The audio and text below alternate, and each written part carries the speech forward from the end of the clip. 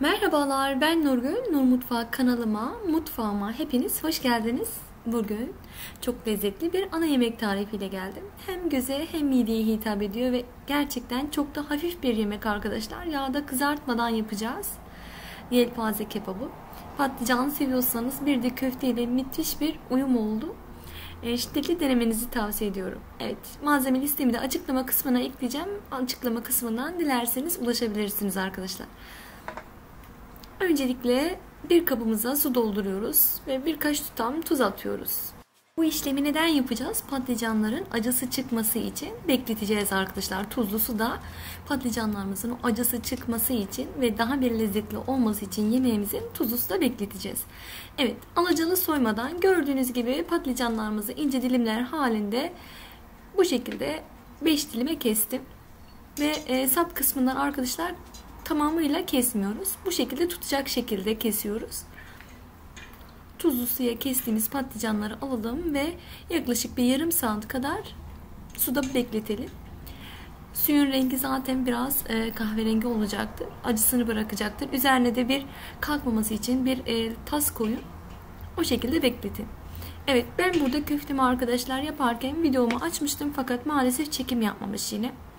Bu yüzden sizlere kullandığım ölçüleri vereceğim. 500 gram kıyma, bir tane soğan, yaklaşık 2 avuç kadar galeta unu, tuz, kırmızı toz biber, karabiber, bir tutam böyle e, çok az bir şekilde kimyon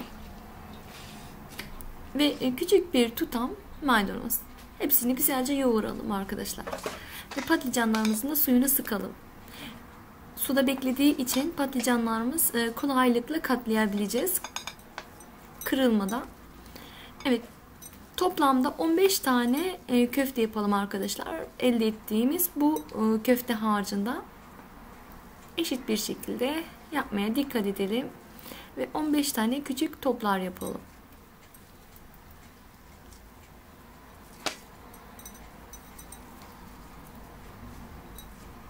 Evet.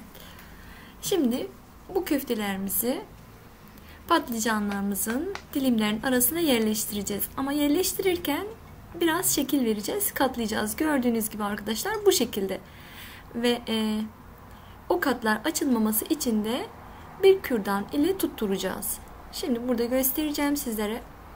Gördüğünüz gibi bu şekilde arkadaşlar. Ve her dilimin arasına bir köfte koyuyoruz, yerleştiriyoruz ve bu şekilde patlıcanlarımızı güzelce kapatıyoruz. Çok hoş görüntü oluyor. Gerçekten hem göze hem mideye hem de çok hafif bir e, kebap oldu. Evet, kürdanlarla da iki tarafından tutturdum. Bu şekilde kebabımı hazırlamış oldum. Aynı şekilde diğer patlıcanlarımı da her dilimin arasına bir köfte koyup kürdan ile tutturdum. Ve bu şekilde kebabımı tamamladım. Eğer videomu buraya kadar izlediyseniz arkadaşlar sizlerden küçük bir ricada bulunmak istiyorum. Lütfen beğenerek ve yorumlarınızı kanalımda eksik etmeyin. Biliyorum e, bu tarz ana yemekler çok fazla tutmasa da ben yaptığım yemekleri sizlerle paylaşmaktan zevk alıyorum. Umarım sizler de faydalanıyorsunuzdur. Daha çok kişilere ulaşması için de erişimimizin artması için de sizlerin yorumlarınıza ve beğenilerinize ihtiyacım var arkadaşlar. Daha bir geniş kitleye ulaşmamız için vereceğiniz desteklerden dolayı şimdiden hepinize teşekkürlerimi gönderiyorum. Ve yemeğimizin yapılışına devam ediyoruz arkadaşlar. Evet. Gördüğünüz gibi köfteleri patlıcan dilimlerinin arasına bu şekilde yerleştirdim. Şimdi sosunu hazırlayacağım.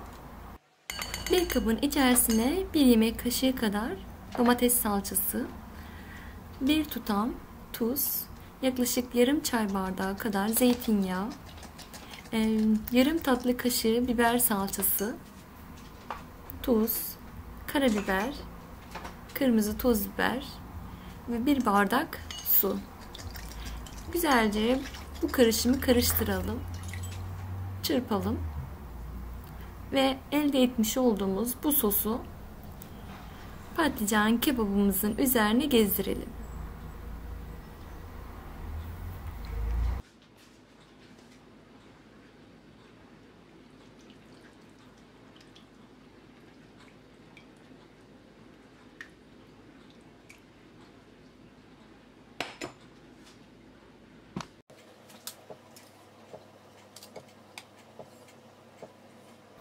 Domates ve biber dilimleri ile kebabımızı süsleyelim. Kebabımızı daha bir lezzetlendirmek için arkadaşlar ben yaklaşık 2 yemek kaşığı kadar tereyağını ocağa koydum ve kızdırdım. Kızdırmış olduğum tereyağını da kebabımın üzerine döktüm. Burada sizlere göstereceğim daha sonra. İlk etapta domates ve biberlerini bu şekilde kebabıma yerleştirdim. Evet pişmeye neredeyse hazır. Evet gördüğünüz gibi yaklaşık 2 yemek kaşığı kadar tereyağını koydum ve eritiyorum. Hafif kızdırdıktan sonra bunu patlıcanlarımın üzerine bu şekilde gezdiriyorum. Çünkü patlıcanlarımızı kızartmadığımız için çok hafif oluyor.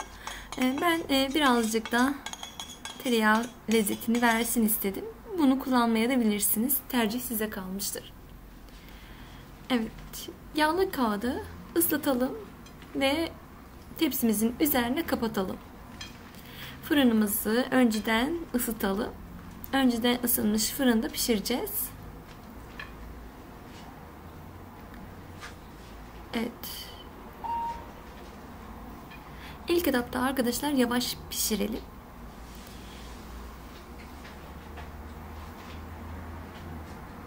Toplam pişme süresi e, bende yaklaşık 45 dakika sürdü arkadaşlar. 175 derecede yarım saat pişirdikten sonra üzerindeki kağıdı çıkarttım. Gördüğünüz gibi ve ara ara da o sosundan kebaplarımın üzerine patlıcan ve köftelerimin üzerine gezdirdim.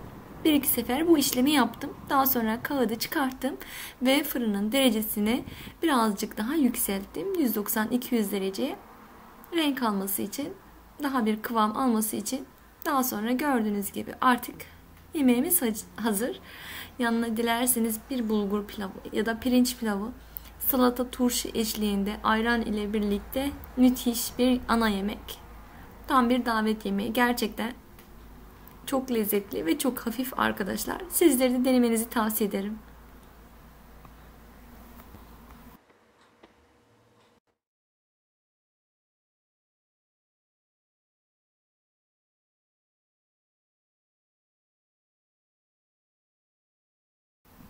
Sunumda mutlaka sosunu da kullanıyoruz. Müthiş lezzetli oluyor. Özellikle bandırıp bandırıp yemesi sosunu çok çok daha bir lezzetli oluyor. Evet. Bugünlük bu kadardı. İzlediğiniz için teşekkür ediyorum. Eğer kanalıma hala abone değilseniz kanalıma abone olmayı ve zil sesini açmayı lütfen unutmayalım. Kanalımda binlerce farklı tarif bulabilirsiniz. Ayrıca menüler, sos tarifleri, tatlı tarifleri, böreğinden pastasına mutlaka sizin de damak zevkinize uyan bir tarif bulursunuz. Evet. Bugünlük bu kadardı. İzlediğiniz için teşekkürlerimi gönderiyorum. Farklı tariflerde tekrardan görüşmek dileğiyle. Kendinize çok iyi bakın. Sevgiyle kalın. Hoşçakalın.